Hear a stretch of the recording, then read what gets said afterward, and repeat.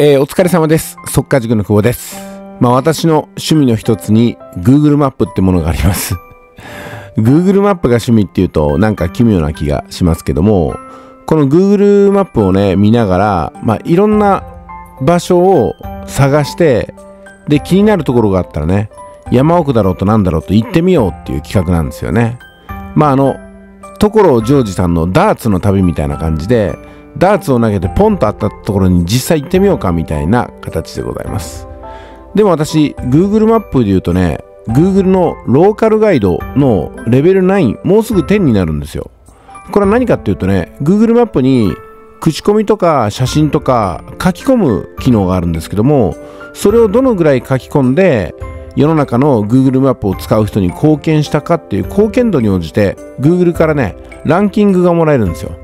で、マックスでレベル10なんですけども、レベル10は日本国内にね、数十名しかいない非常に貴重なポジションで、私はもうすぐそこに行くってことなんですよ。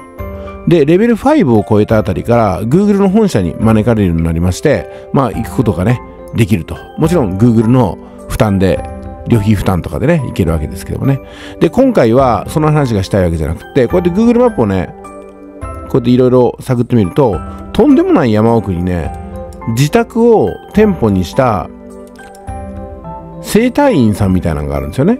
体回復整体輝きっていうところですけどもこれ本当の普通の家の中でしかもその家っていうのも人通りが多いところでも何でもなくてね山奥の農家の一軒家みたいなところなんですよ。ちょっとクリックしてみますね。そうするとこちらの方に隅っこの方にこうやってね院長先生の顔が出てきて体回復生態輝きっての出るでしょ。だからね Google マップっていうのは本当に侮れないんですよ。ここには概要もあります。ね。住所とかがあったり営業時間があったり連絡先とかね公式サイトの URL があったりとかするわけですよね。でさらに口コミが書けるわけですよ。で私はまだ口コミ行ったことないんで書いてませんけどもこの口コミを書くってところをクリックすると5段階評価がつけられたりとかね。それから実際に施術を受けられた方のね、コメントが打てるんですよ。羽原明子さんって方が書いてますね。2ヶ月前。ね、だから来店頻度とか書き込みの頻度もここで確認できますから、新しくここをね、訪れる方としては、ちょっとこう、ヒントになるって感じですよね。とても分かりやすい説明で、しっかりと聞いてもらえて、とっても良かったです。足が楽になりました。続けて通いたいと思いますってね、書いてますね。続けて通いたいと思う。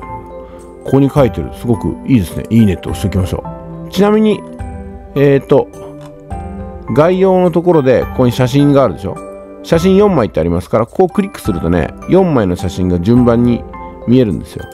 ですんで、ああ、こういう方が、こういう場所で施術をしてくれるんだなっていうのが分かりやすいってことになります。で、この写真は、あの、どなたでも Google の Gmail を持ってれば投稿することができます。はい。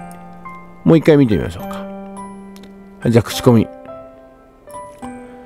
熊野熊尾くん、ね、8ヶ月前です。なんでそんなに口コミ入れるのかわからないが、最近もチラシ入ってたけど、昔それでお試しって言ってよかったと思って行ったことあるけど、マジでやばかった。あの金額は客寄せで高額な話されて、それでも今日はお試しだけでいいからやってほしいと伝えても、ずっと話し合い説得されて断ってもなかなか帰らせてもらえなかった。なるほどね。こういう風な印象を抱く方もいるんですね。これも一つの大きなヒントになると思います。はい、さらに、えー、内尾京子さんですか？えー、左膝痛と少し姿勢悪く気になり筋トレに励んでいました。そんな時輝きを知り、内面からバランスや意識をすることやセルフ生態などを教えていただき、病院では得ることのできない指導を受け、効果も出ているので満足していると。あ、やっぱりこう、先ほどみたいな意見も当然ありますけども、これ高評価ですね、1年前。で、2年前。いつも穏やかで優しい先生です。どのような症状に困っているかなど、じっくりと話を聞いてくれます。無痛療法は初めてだったのに、最初は効くのかなと思っていましたが、体に負担をかけずに全身の筋肉がほぐれて腰痛、肩こりだけでなく頭痛、不眠も回復し、先生には感謝しています。いいですね。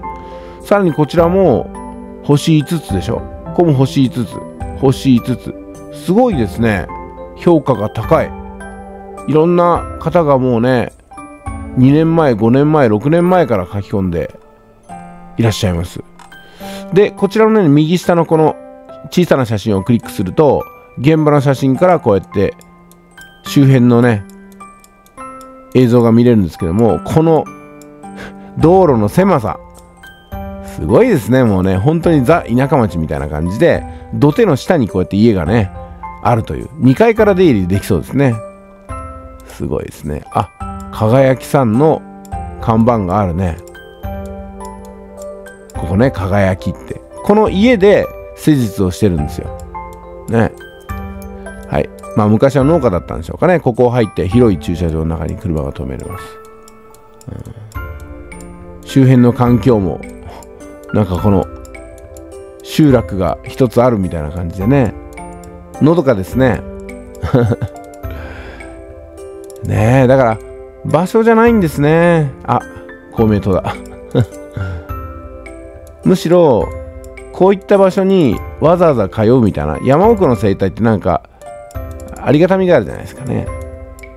わあ、豪邸ですね、ここも。うん、こちらが母屋で、こちらが離れの2世帯ってことなんですかね。とにかくでっかい。まあ、ちょっと関係ないところまで見てますけども。いやー、でもね、岡山の大戸って地区にこんなところがあるんですね。もう道は全部一車線で離合がかなり難しいところですけども。うん、これは実際私もね、そんなに遠くないんで、行ってみてレポートしてみようかと思います。あ、これが主要幹線道路ですね。ああ、なるほどね。有田、新賀、茨。あ、ここか。はいはい、わかりました。この交差点私がよく通るところです。だからこっから行けば近いってことですね。確かにオートだわ、あれ。はい。というところでね、Google マップ侮れ字という、そんな話題でした。自宅を店舗にされている方、Google マップ、ちょっと気をつけてみた方がいいと思います。ご自身で整備したりとかね。あれだったら、お知り合いの方に、いろいろと口コミをお願いしたらいいんじゃないですか。はい。それでは、今回は以上です。